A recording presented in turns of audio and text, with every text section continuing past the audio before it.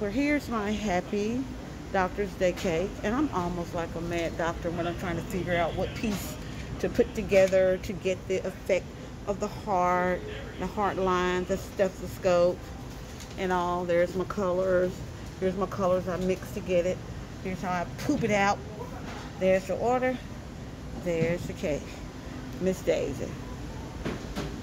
Doctor of Cakes.